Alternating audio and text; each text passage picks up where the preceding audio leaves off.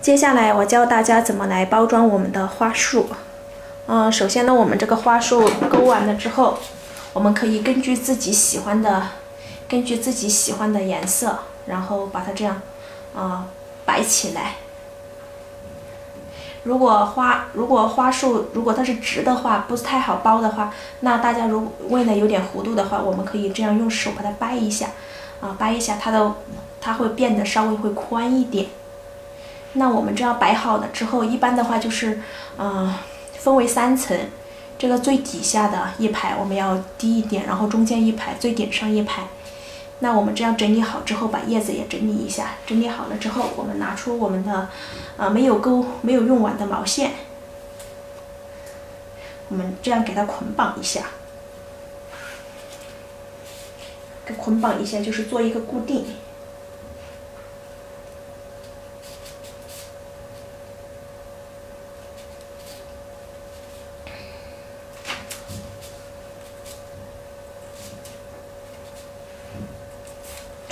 然后下面如果它比较长的话，长出来的这一段的话，那我们就用手将将它掰一下，把它掰到一样长，掰掰成这个样子就可以了。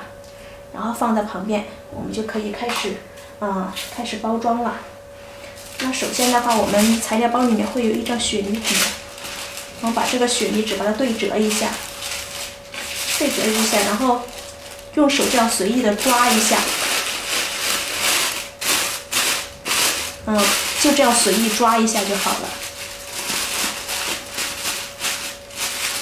这样随意抓一下，就是为了让我们的这雪梨纸看起来更加蓬松一点，啊，做出来的造型更为好看。然后我们将雪梨纸放在啊我们这个玫瑰花的下方，啊，不能太高，也不能太矮，就大概刚刚，啊，刚刚和玫瑰花平齐，这样就可以了。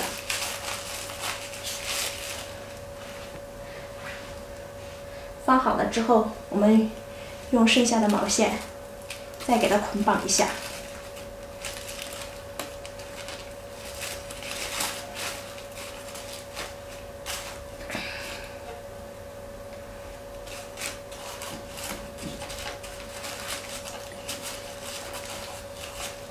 这样捆绑一下就好了。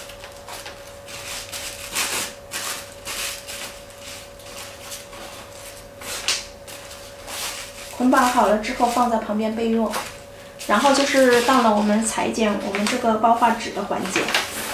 那首先呢，我们是将它这样对折裁剪。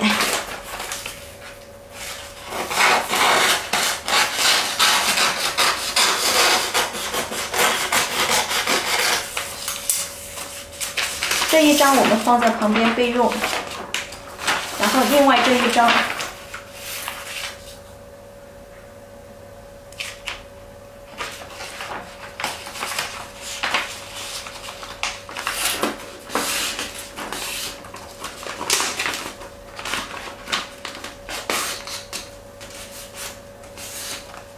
我们将它分成四份。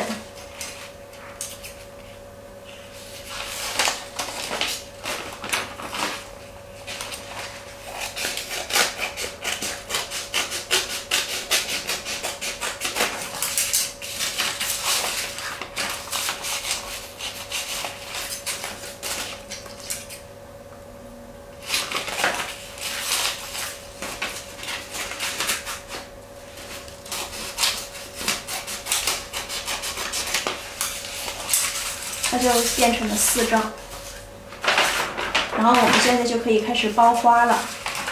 首先，嗯，我们把这张大的拿出来，然后这样斜着过去，这样用手可以轻轻这样捏一下，然后另外半边也是一样的，这样轻轻的捏一下，然后再把我们的花放上去，放上去的时候。啊，差不多和里面的这个边平行。好，这样放上去之后，然后从下往上这样捏，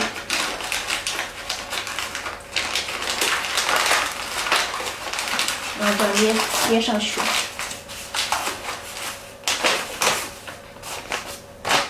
捏上去了之后，我们可以拿毛线这样这样绑一下，固定。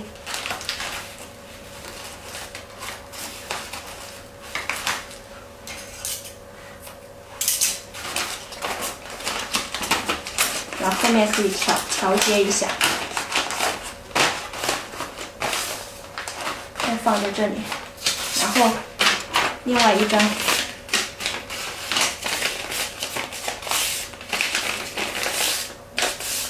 也是可以这样折一下，不需要平行，我们可以这样稍微斜一点，让它有点幅度，也是一样的，我们先包左边或者是右边都是可以的。就是说要下那一点点，留个五公分左右，放在它的旁边，也是这样捏上去。完了之后，我们可以用绳子这样系起来，固定一下。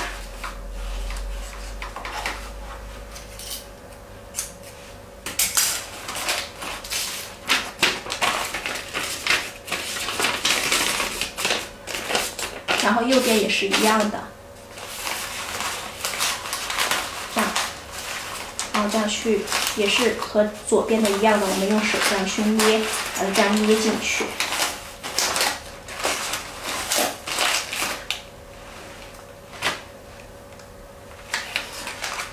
然后用绳子固定。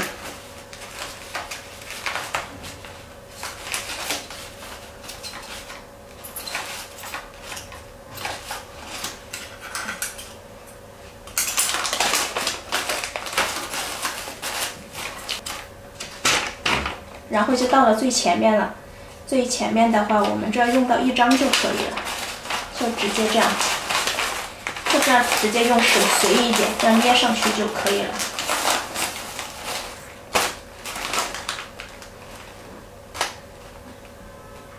捏上去之后，然后我们用绳子这样绑一下，固定。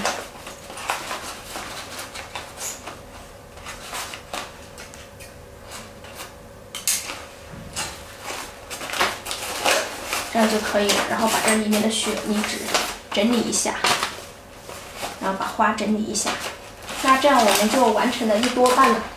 最后拿出我们的透明的这种包花纸，这种的话就直接我们把我们的花束直接这样放进去就可以了，直接捏住我们的花束，然后直接这样放进去。放进去的同时，我们要移动一下，就是我们放进去的时候，这个字母最好是不要遮到我们的花朵啊。那我们的字母差不多就是嗯盖住我们的雪泥纸，这样就可以了。这样就差不多就可以了，也可以再稍微上去一点点，反正就是字母不能遮住花朵。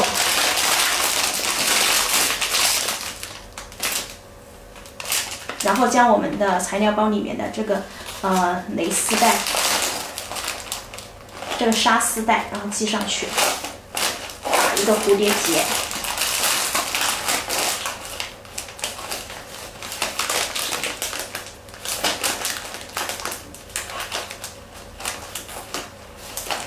蝴蝶结反正就随便打一个什么蝴蝶结都可以。